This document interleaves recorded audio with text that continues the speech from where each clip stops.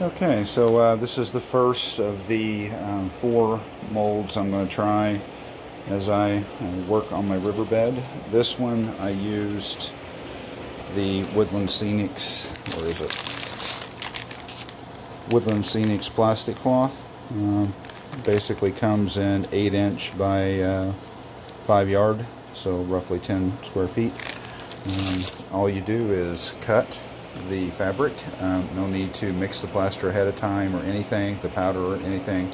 Essentially, it's already kind of pre-worked into the fabric. Just grabbed a little, um, you know, little tub of water and then laid it into um, the bed. And now I've got to let this harden.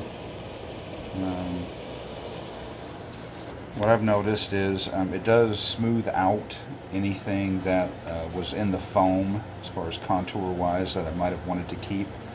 Um, I'll have to think about that. Um, it could be that I don't go as far up the riverbed wall and I paint some things there so I don't know, just have to think about it a little bit.